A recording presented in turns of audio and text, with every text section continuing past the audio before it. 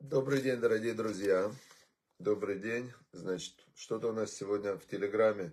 У меня не получается зайти. Сейчас попробую в Ютубе и, значит, и еще раз попробую в Телеграме. Почему? Потому что Телеграм обычно работал хорошо. Но вы же знаете, как устроен мир, уже знаете, что, что постоянства в нем нет в этом мире, нету постоянства. Вот работало вчера хорошо, а сейчас плохо. Да, но что мы можем? Мы можем пробовать. Мы должны пробовать, стараться, действовать, улучшаться, пробовать еще, молиться. Сейчас я помолюсь. Может и включится. Вот Телеграм. Пробуем. Нет, что-то с телеграммом не то. Не то, не то. Видите, трещит вот так вот и не работает. Почему не работает, непонятно. Раз, два, три, четыре, пять.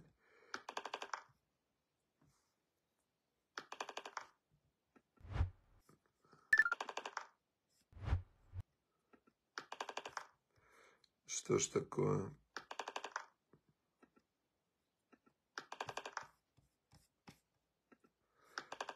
Ну нет. Значит, будет сегодня у нас урок в YouTube. И у нас будет урок в Фейсбуке. Значит, те, кто в YouTube и Фейсбуке, молодцы. Те, кто не в YouTube, не в Фейсбуке, те, кто смотрят уроки Торы только по Телеграмму, значит, они получат записи. Тоже хорошо, потому что в записи это тоже прекрасно. Итак, сегодня у нас глава Балак глава Балак. И в этой недельной главе Балак мы сейчас подошли к тому, что Балак и Белям хотели проклясть еврейский народ, но Всевышний хотел по-другому. Они пытались сделать то, что они пытались, да, то есть они действовали исходя из своего намерения. У каждого человека в этом мире есть его намерение, да, его внутреннее желание, его глубинные какие-то установки, ценности, направления – все это выбирает сам человек. То есть в этом свобода выбора. Ты можешь, хоть ты себя назови, люди могут сейчас пол выбирать. Вот сидит себе, такой мужик с бородой, такой качок, и говорит, а что-то я вот себя думаю, как-то вот мне имя Маша больше подходит. И все. И идет в паспорт, получает паспорт. И вот тебе Маша, постригся, побрился, обрезал себе там кое-что. Все, проходит время, смотришь, он уже вообще этот самый. А потом он говорит, не, вы знаете, что-то я передумал, у меня опять поменялось мое представление о себе. Я, говорит, сейчас хочу вернуться, верните к заводским установкам. Ему говорят, ладно, какая разница. Главное, что деньги есть еще, ему говорят. Он говорит, деньги еще есть. Ему говорят, давай, ладно. В, как говорил царь Соломон в Экклезиасте, в Каэлите, он говорил так, что, говорит, вино веселит, хлеб насыщает, говорит, а деньги решают все вопросы. Все. Значит, хочешь женщиной быть, будь. Хочешь мужчиной, пожалуйста. Значит, все. Все для тебя. И вот, значит, э, Балак и Белям, они хотели проклясть, а Всевышний хотел по-другому, у него были другие планы. И мало этого, что он хотел по-другому, он хотел показать, что действительно человек может замышлять все, что угодно, результат будет, как Всевышний скажет. И вот, значит, э, вначале они пытались проклясть со стороны с одной, да, со стороны идола Баль, да, это был идол, поднялись они на холм, где служили идолам, значит, принесли, всем построили жертвенников, всем принесли быков, всем, всем э, принесли этих самых э, овец, баранов, жертвы все сожжения, и Белям вместо, благослови, вместо проклятия благословляет. Значит, э, Балак ему говорит, я ж тебя пригласил проклинать. Он говорит, я тебя предупреждал, что то, что Бог мне скажет, то и буду говорить. И сказал ему Балак тогда, пойдем, как говорит, со мной в другое место. Оттуда мы будем видеть э, кусочек э, народа Израиля. Может, получится хоть кусочек проклясть. Может быть, не всех, но кусочек получится проклясть. Значит, э, попробуем оттуда.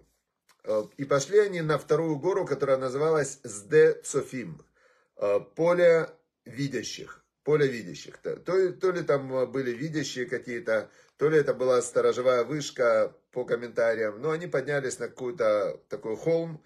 Вообще вот эта вся Иордания, кто был, это все происходит на месте, где сейчас Иордания. Это Мертвое море, с другой стороны Мертвое море. И там очень много холмов таких.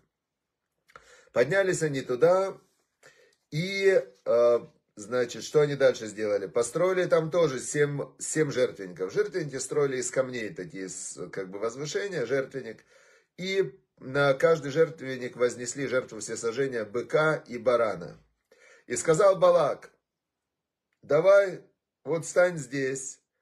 И, а, сказал Белям Балаку, Белям говорит Балаку, все, стой здесь возле жертвенника, а я сейчас пойду и обращусь ко Всевышнему, может быть, сегодня получится. И Всевышний открылся Беляму и сказал ему, вернись к Балаку и так скажи. Вернулся он к Балаку и, и сказал ему Балак, Мади Берашем, что сказал Бог? Вот смотрите, если, если прочитать слова эти, отлично, прям он его спрашивает, ну что сказал Бог? Говорит нам устная Тора, в этих словах, в этом вопросе, что, спроси, что сказал Бог, была насмешка и издевка. Мы это, эту насмешку и издевку не, послуш, не услышали да, в этих словах. Ну, написано, что и сказал ему Балак, что сказал, что говорил Бог. Ну, устная Тора говорит нам, что по-разному же можно спросить. Как а, один из моих любимых анекдотов, когда учительница поз... зашла в класс, и Машенька плакала, а она спросила, почему ты плачешь? Машенька говорит, Вовочка меня назвал дурой. Учительница говорит, Вовочка, выйди к доске три раза, скажи, что Машенька не дура, и извинись. И Вовочка выходит к доске и говорит, Машенька не дура. Машенька не дура. Машенька не дура, но извините. И мы видим, что вот эти слова, что сказал Бог, если они сказаны, ну, что сказал Бог, это, это может быть прекрасные слова. То есть мы все говорим эти слова. Что сказал Бог? Мы сейчас пытаемся понять. А устная Тора говорит, он сказал с издевкой, ну и что сказал Бог? То есть, что у Беляма нету личной силы никакой, что он не может делать то, что он хочет. Ну, что тебе сказал хозяин твой Бог? Да, вот такая была. Что вот вы вот эти религиозные, такие тупые делаете? Вот я я нормальное животное. Что хочу, то и делаю. Я типа человек светский. Я, значит, хочу и, и делаю. Хочу голым ходить, значит, буду. Захочу тут вот писать на улице, буду. Значит, а вы религиозные что? Ходите одетые в белых рубашечках, костюмах, шляпах. Ну, точно как животные. Значит, э, и сказал тогда ему Белям. Сказал ему Белям, кум Балак, встань Балак и послушай, что услышь, значит, сын Цепора, сын, сын птицы, послушай, что Бог сказал. То есть он ему тоже, Белям он тоже был такой, его, знаете как, когда встречаются вот эти вот, э, те, кто на, на, ну, блатные такие, да, то они друг друга, под, ну, типа, ну и что? И Белям ему также отвечает, встань и послушай. Ну, тут встал, и начинает Белям э, говорить то, что ему Бог сказал, пророчество. Не человек Бог, и он не, э, не обманывает, как люди. И он, если он пообещал, так он делает. Значит, и в каждое его слово, то, что Бог сказал, оно будет установлено. И вот э, благословение я дал еврейскому народу, и благословение оно не вернется уже обратно. Значит, э, и дальше он говорит очень-очень серьезное благословение на еврейский народ. Значит, и нету, говорит, колдунов в народе Израиля. И, значит, э, народ этот, как львица, встает и как лев, э, значит, поднимается, сравнивается со львом, да, Лой шкаф не, не ляжет он, пока не скушает добычу, и кровь, э, значит, кровь не, не, не выпьет кровь, да, вот такая вот, да. Что за, читаем письменная Тора, непонятно. Оказывается, встает как лев, это говорит Шма Исраэль с утра, встает и сразу говорит, Шма Исраэль, слушай, Израиль, Бог, э, наш Бог один. И, значит, а вот этот «Ведам халалим иште» это этот вопрос, вот ты хочешь их уничтожить, но он может закончиться, в Мишле мы много раз э, учили, что тот, кто копает яму, сам в нее упадет. И то, что Балак хотел уничтожить еврейский народ, то тогда это на него вернется. Вот здесь э, в, в этом пророчестве было именно вот это, что кровь, э, кровь выпьет, это в конце-то получается, что в конце всей этой истории, значит, я даю вперед спойлер, что еврейский народ уничтожил медианитян, медианитян и мавитян, которые выступали против них – и Беляма убил тоже мечом написано. И сказал Балак Беляму, «А, значит, проклинать я тебя позвал, так ты не проклинаешь? Так а, хотя бы не благословляешь. Что ты их благословляешь? Это же вообще, что это такое? Я тебя позвал, чтобы ты проклинал. Ну ты ладно, не можешь проклясть, не проклинай. Что ты их благословляешь? Это был последний сегодня отрывок. Завтра мы узнаем концовку этой главы. Завтра мы узнаем конец. Значит, что мы отсюда видим? мы отсюда видим, что вот есть, э, есть глубинное намерение, да, есть глубинное, глубинное какое-то намерение, которое, э, которое человека ведет по жизни. Оно выражается в его ценностях, что для тебя важно, что для тебя важно. Потом человек может ошибаться, он может петлять, он может куда-то сбиваться, у него могут быть какие-то мелкие, какие-то, ну, сбои, да, но все идет за глубинным намерением. Если глубинное намерение было у Балака и у Беляма, оно было негативное, оно было против Бога, то, то все накручивается на вот это глубинное намерение. Понятно? Есть такая очень в Мишле важная фраза в притчах, что «Беколь драхеха деу» на всех своих путях, дерах это большой путь, магистральный путь, познавай Бога, в уя ашер архатеха, и он выпрямит все твои дорожки. Потом все твои маленькие решения, если ты глобально ты идешь по большому, по правильному пути, да, вот ты выбрал Всевышнего. Дальше ты можешь где-то там сбиваться, не видеть дорогу, но тебя все время будет выруливать на правильный путь.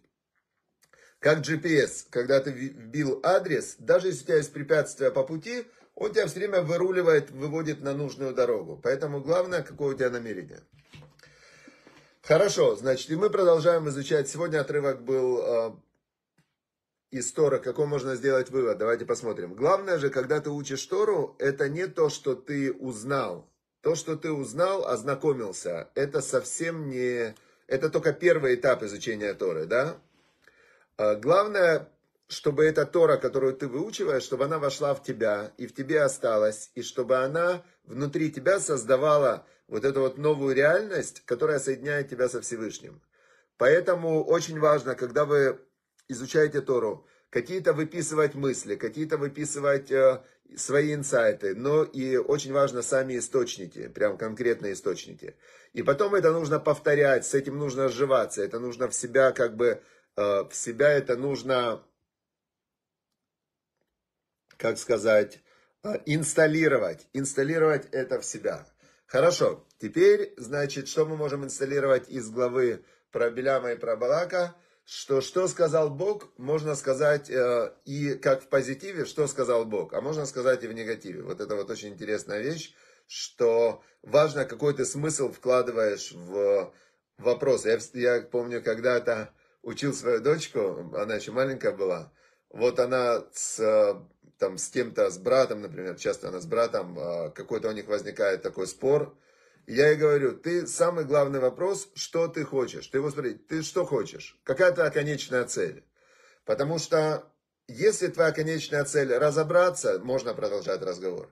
Если твоя конечная цель услышать, можно продолжать разговор. Но если твоя конечная цель, если ты увидишь, что его конечная цель доказать тебе что-то, ну, прям убедить, что ты не прав, там, или твоя конечная цель, а, значит, а, каким-то образом там возвыситься или обидеть ее, не надо продолжать разговор. То есть важно понять, какое намерение у твоего человека. Вот все время задавая вопрос, можно вслух, а можно, можно и э, про себя, да, что он хочет, в чем его намерение, что он хочет в этом разговоре.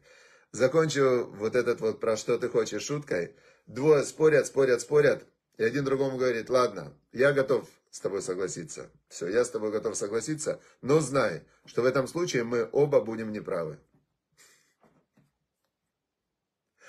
Такой вот красивый, знаете, ход. С одной стороны, он сделал мир, но с другой стороны, он как бы говорит, все, я готов с тобой согласиться, но знаю, что в этом случае мы оба будем неправы. Все. А, значит, 29 а, глава.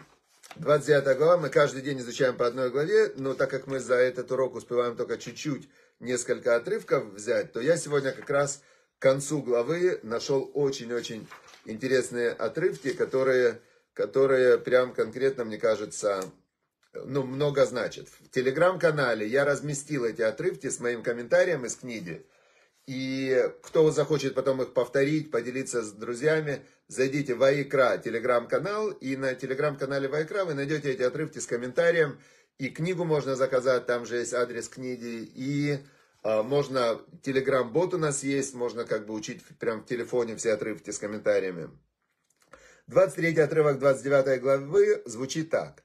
Гават Адам Ташпилену. Значит, гордость, высокомерие. Гава это гордость и высокомерие. Гордость человека его, его наоборот унижает. Ташпиль, ляшпиль это ну, вниз его как бы унижает. Гордость человека унижает. Ушфаль руах, а тот, у кого смиренный духом, э, его будет поддерживать почет. У него будет почет, у него будет уважение. Но это вообще противоречит всей формальной логике, которую мы наблюдаем. То есть мы видим, что наглые, наоборот, они прут вперед, и они, значит, э, они, ну, как бы вроде везде побеждают. А люди смиренные, какие почет у них, да, его наоборот никто не уважает. Логично? Абсолютно. Но это, это такой настолько поверхностный взгляд на ситуацию, что давайте посмотрим, э, мудрейший из людей царь Соломон, что он нам открыл. Значит, высокомерие человека его унижает. Как это работает? Значит, вот есть высокомерный человек. Он говорит, я великий, я великий вообще все. Он себе это говорит. Он себя считает, что по десятибальной шкале оценки величия и там, талантливости он на 12. Как минимум на 12, просто шкалу еще не придумали. Теперь такой вот э, человек, который э, себя оценивает, у него гордость такая, высокомерие на 12, он выходит из дома, выходит из дома, и с ним сосед не поздоровался. Он такой, что? Со мной? Вот он не поздоровался. Ну, вообще, он уже идет дальше злиться. Злится, он злится, выезжает он на дорогу. Естественно, ну, по машине его не видно, что у него 12 по десятибалльной шкале. У него какая-то обычная машина. И вокруг все как бы не уступают ему дорогу. Он просто это пережить не может. Он пока доезжает до своего места, куда он ехал, у него полностью он весь а, весь он кипит вообще, кипит, и он уже полностью вообще в, в бешенстве. Приезжает он куда ему надо, да, а тот человек, который к нему ехал на встречу, например, с тем у него встреча, он опаздывает. И этот сидит, говорит, меня, я приехал вовремя, а меня, значит, вот так вот, не, не уважают, все, да пошел он. В общем, весь его день у этого высокомерного человека, он себя чувствует униженным. Если у него 12, а все его оценивают максимум на троечку, то у него целый день настроение минус 9. То есть у него в каждой коммуникации с людьми у него минус 9. Понятно, да? Получается, высокомерие человека, его все время прибивают в его же глазах, его недооценивают. Теперь, а что значит смиренный духом? Значит, э, смиренный духом, он говорит, все от Всевышнего, что я вообще, слава Богу, что я жив, слава Богу, что все хорошо, ой, солнце вообще, выходит он, Сосед, значит, его не заметил. Он думает, он вообще не думает. Он, он говорит, здравствуйте самому соседу, здрасте, такой у меня сосед хороший, да. Вот, он с соседом поздоровался, сосед с ним поздоровался. На дорогу он выезжает, он же, ну, он себя считает, что, ну, все от Всевышнего, люди вокруг хорошие, все куда-то спешат. Этот, наверное, в больницу едет, этот, наверное, по делам важным, этот там, мало ли у него, может, он полицейский. Он едет, значит, его все, про... даже у него нет машины. Я, я вспомнил сейчас анекдот. Приходит, э, жил один мужчина по фамилии Козлов. И он, с, э, у него не было машины. И он приходит домой вечером, живет в спальном районе, заходит домой такой счастливый, веселый. Жене говорит, дорогая, здравствуй, там все. Ты знаешь, говорит, вот говорят новые русские, вот эти вот олигархи, которые там на больших машинах, на Мерседесах ездят, что они не культурные. Говорит, а я такого видел сейчас просто реально. Ко мне обращается на «вы» и по фамилии. Жена говорит, в смысле? Он говорит, ну я дорогу перехожу, а тут останавливается, тормозит такой Мерседес и говорит, ну для вас же козлов переходы сделаны. На вы и по фамилии. Для вас Козлов, говорит, а у него фамилия была Козлов. И он говорит, вот какие люди хорошие сейчас эти самые. Получается, чем скромнее человек, смиренный духом, тем больше он э, ценит, э, ценит любое проявление, когда его другие люди со стороны благодарят, оценивают, э, говорят ему хорошее слово. Для него все это реально, он не считает, что ему что-то за это положено. И он э, все время он чувствует вот этот вот почет, что к нему хорошо все относятся, Всевышнего любит. То есть по факту получается, гордость гордеца его прибивает, он все время чувствует себя недооцененным. А смирение духом человека, который себя э, считает, что ему нечем гордиться – а, но его, тем не менее, другие люди уважают, почитают, что-то ему делают, это его постоянно поднимает, он, он очень чувствует вот этот вот почет, уважение, которое ему оказывает. Красиво, красиво. Мне кажется, что вот это вот понимание, оно намного глубже и намного правильнее, чем а, вот это формальное, что гордецы хорошо себя чувствуют. Гордецы плохо себя чувствуют. Им реально постоянно плохо, этим гордецам. Теперь дальше. Дальше написано 25 отрывок и 26, очень красивый тоже. 25 отрывок звучит так. Хердат Адам и Тен Мокеш, Уботех Башем и Сугав. Значит, тревога человека делает ему препятствие, а полагающийся, уверенный в Боге, делает э, ему, значит, это делает ему защиту. Вот живет человек, э, и он думает о будущем. Все люди думают о будущем. Но по факту, если мы разберемся в этом, думать о будущем, это значит, что мы в какое-то совершенно абсолютно неизвестное пространство вариантов, да, которых вообще непонятно, как оно будет. Мы накладываем, э, мы накладываем какие-то свои ожидания от будущего. Теперь человек тревожный, он накладывает ожидания, которые его пугают. Он, он потому и тревожится, что он представляет, так, значит, будущее будет так. У меня была вот недавно, буквально вчера ситуация одна, и, а, значит, а, было неизвестно с утра, вот что-то было с утра неизвестно. И я вечером не мог заснуть, потому что мой ум мне предлагал такие все ужасные варианты, а я придумывал на них а, какие-то решения, как оно все будет, все. То есть, и вот эта тревога не давала мне реально заснуть. Теперь, но я уже знаю, как это работает, да, 25 отрывок, давайте почитаем. 25 отрывок, 29 глава Мишли, притчи царя Соломона. Тревога человека делает ему препятствие, а надеющийся на Бога будет под защитой. Значит, я вспоминаю этот отрывок и говорю, хорошо, сейчас я из-за этой тревоги, которую мой ум предлагает мне Э, все возможные негативные варианты. А откуда он берет эти негативные варианты? Я прожил 90-е, я смотрел много боевиков, э, фильмы ужасов, слава богу, не смотрел, поэтому там не было вариантов появления маньяков, расчленения там, и убийства, да. То есть были просто варианты такие, ну вот, э, негативные, но не такие, что прям супер-мега негативные. Теперь что значит? Тревога не давала мне уснуть, она была мне препятствием.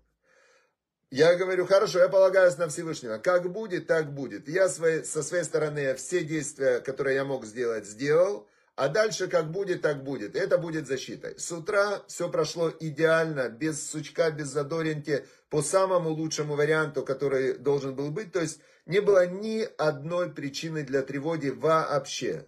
Понятно. Теперь рас, расширим это на жизнь. Люди, которые боятся за будущее, они все время находятся в состоянии стресса. Стресс сужает мышление. Стресс, он человека вводит в состояние «бей, беги, замри», парализует, а, вызывает агрессию или же желание убегать. То есть ум перестает работать рационально, нормально, духовно закрывается, все. Человек в стрессе, он не, неэффективный, особенно долгий продолжительный стресс, а тревога – это долгий продолжительный стресс. И люди выжигают свою нервную систему, живя в постоянной тревоге. 25 отрывок надо читать, значит, перед сном запивать водой и, значит, стараться это внедрить в себя. И 26 это следствие, следствие 25-го. Рабим Вакшим Пней Мошель. Значит, многие а, просят лица как бы добиваются благосклонности, многие ищут благосклонности правителей. Но от Бога судьба человека. Значит, царь Соломон говорит, смотрите, когда человек тревожится, он думает, что кто-то должен ему помочь. Кто-то, кто-то, вот Мошель, какой-то правитель, сейчас вот правитель, царь, он всех спасет, придет, спасет, все. Он говорит, нет, говорит, твоя судьба, она зависит от тебя и от Всевышнего. От Бога судьба человека, а не от какого-то царя. То есть ты источник всего, что в твоей жизни, а в тебе главная твоя часть, это твоя связь с Богом, с Творцом мироздания, и насколько ты действуешь правильно по системе. Потому что если ты действуешь не по системе, которую Бог установил как добро и зло, если ты выдумываешь свою систему, идешь по системам там Лобковских, еще каких-то и так далее, то ты тогда, пусть тебе Лобковский тогда, с жизнью твоей занимается. Но еще сказал царь Давид до царя Соломона.